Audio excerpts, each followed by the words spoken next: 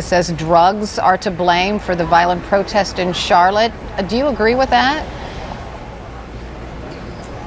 Uh, I think it's presumptuous for uh, him to make a conclusion like that without having thorough uh, conversations with some of the folks who are here on the ground and, and really aware uh, of what is going on and what the reasoning is.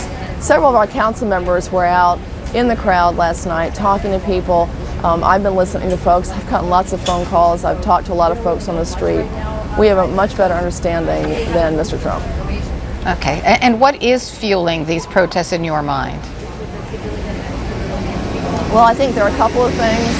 I think that um, even though we have a strong history of community policing and people know um, we have community officers that are known in their neighborhoods that have great rapport with citizens, uh, even in spite of that, there is distrust uh, with the disparity of how African Americans um, are handled in police incidents versus how um, whites are handled. I think there is a concern about that. Um, there's also uh, a concern when you look at what's happening nationally and having this occur in other cities as well.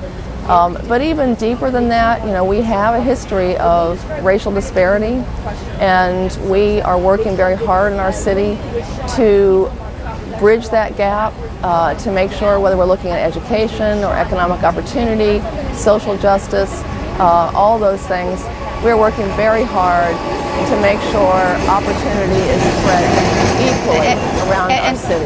And just, just one